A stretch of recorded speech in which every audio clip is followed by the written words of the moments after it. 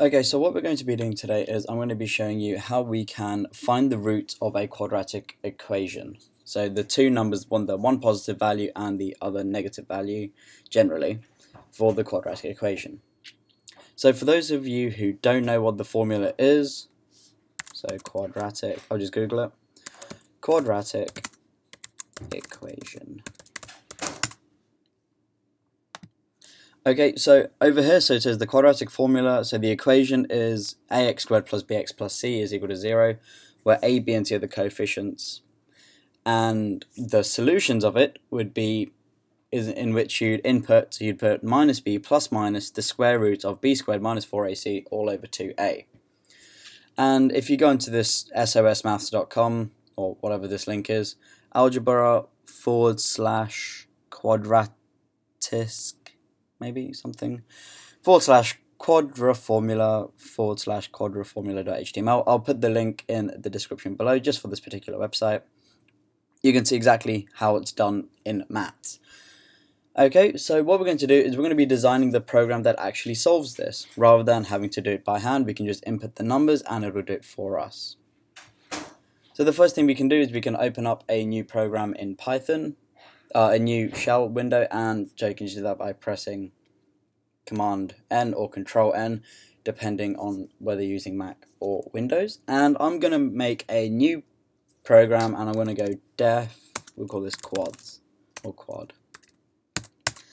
Okay this way I can just repeatedly run the program and not have to continuously press or continuously go run run module and then rerun it. I can just do it immediately so I'm going to make a quick print statement saying this program will find the roots of a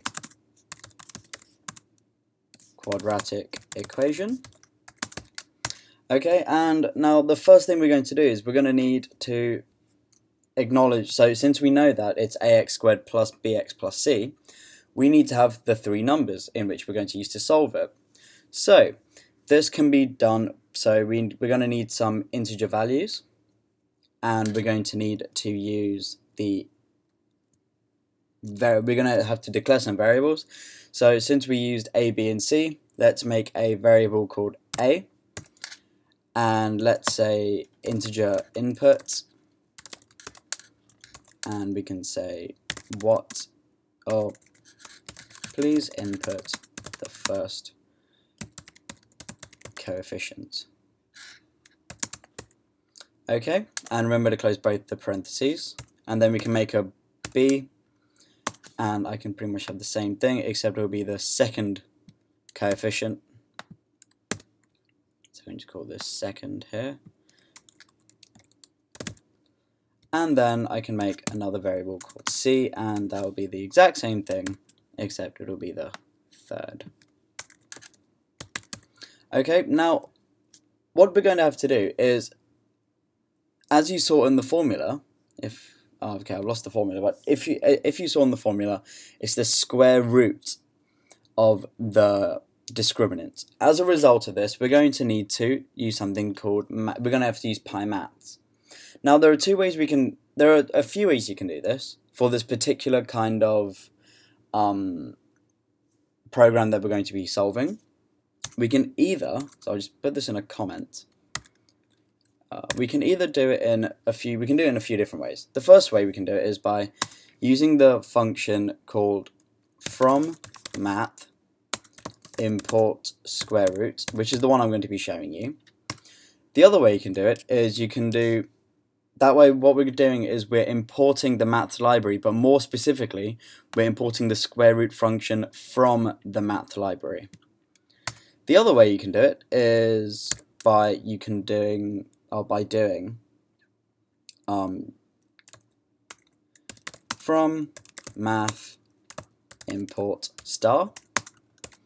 And the star will basically import every single pos possible function that the math library has. So you can use any of them. However that's a far more untidy and is considered to be bad practice of Python as well.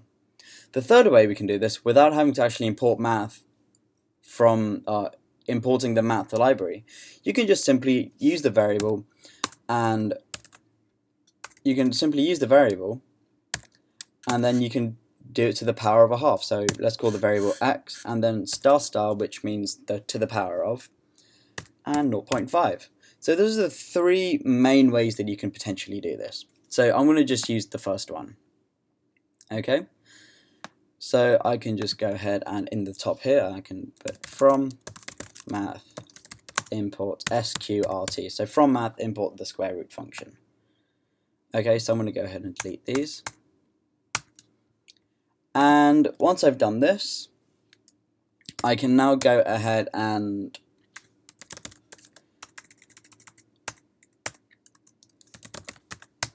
Right, I can now go ahead and declare a new variable because now what we're going to be doing is we're going to be finding out the value of the discriminant.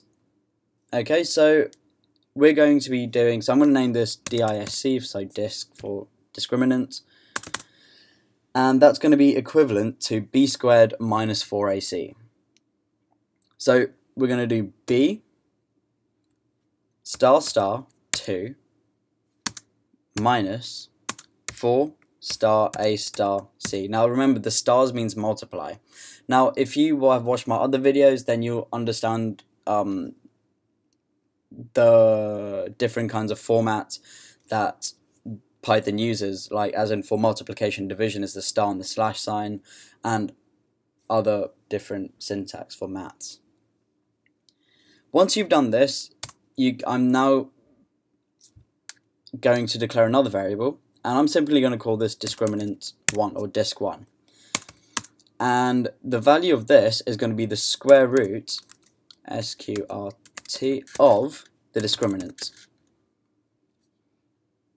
Okay, that should make sense. So what, what I'm basically doing here is the formula was minus b plus minus the square root of b squared minus 4ac. So over here, this is your b squared, wherever the up symbol is, yeah, b squared minus 4ac. And over here, it's the square root of this. That's all we're doing. I'll just keep the formula up. So I'll just Google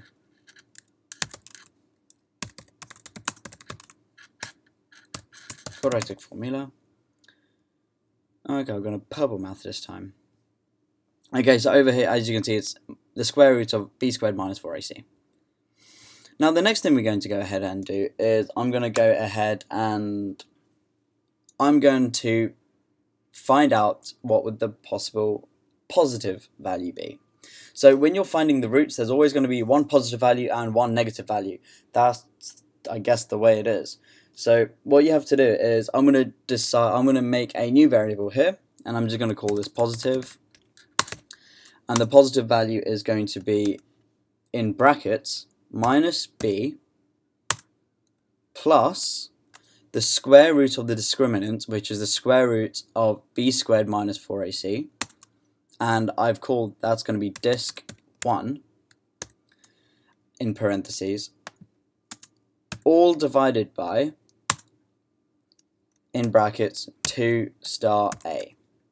Now, this is literally what the formula is. So if I just bring this to the side, so you can actually see it over here. So I've put minus b plus, so since there are two values here, there's a plus value and a negative value, um, it's minus b plus the square root of b squared minus 4ac over 2a, which is exactly what I've done here. So the disc 1 is the square root of b squared minus 4ac. Okay, so all you can just put here. this is the value of the discriminant. I guess that's how you spell it. I could be wrong. Anyways, that's the first value. Now, like I just said a minute ago, it's, it's a plus and a minus that you have to be using. So I'm going to have to make a negative value, and that's going to be equal to, in brackets, minus b minus disc1 all divided by 2a. Okay, and that's really about it. So now I can go, so for ax squared plus bx plus c is equal to 0, I these and these will now output my one positive value and my one negative value. So I can go ahead and print a statement saying um, when the or when you have oh no in fact let me just give you the straight answer. The positive value of the quadratic equation is and in curly brackets 0 and the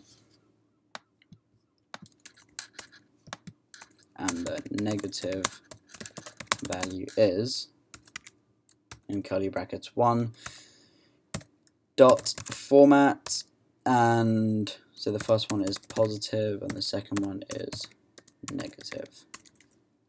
Negative.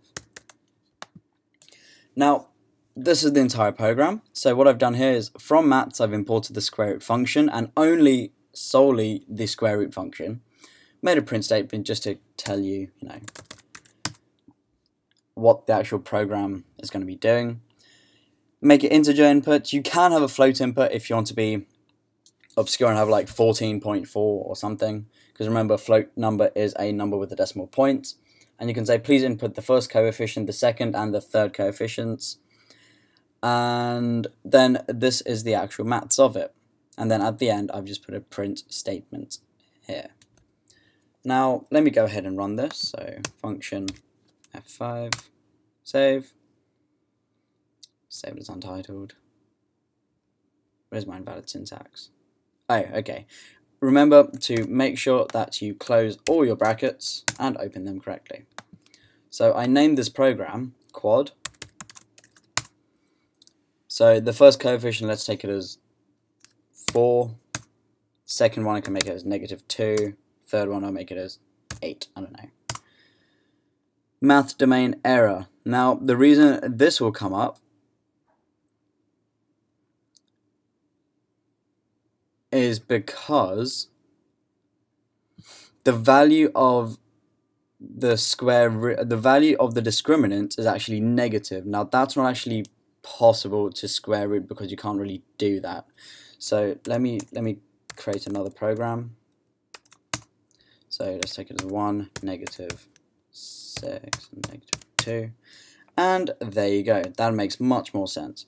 So the re so if you actually get this error like I just did, even though you inputted a random number, what you actually have to make sure, and really, really make sure about this, is the fact that when you are doing your b squared minus 4ac, that the value of the discriminant has to be greater than 0. Because if it's not, if it's a negative integer, you can't do the square root of a negative integer, and Python does not understand that. It does not really compute because it doesn't really know imaginary numbers or complex numbers or anything yet. So it will come up with the traceback error, and it will just say math domain error. Whereas if you use numbers that are greater than 0, then obviously it can work because you can square root a normal number. So in this case here, I've said the program will find the roots to the quadratic equation the first number is 1, negative 6, negative 2, and as a result, these are my positive and negative numbers, and these are therefore the two roots of the equation. Now you can just go ahead and round them down to like three significant figures or however many you want to do it. Okay, so that's really about it. So I'll put the um, the quadratic formula in the description below, and yeah, I hope that helps and I hope that allows you to solve them quite easily. That way it also saves you a lot of time and you don't have to use a calculator. So there you go.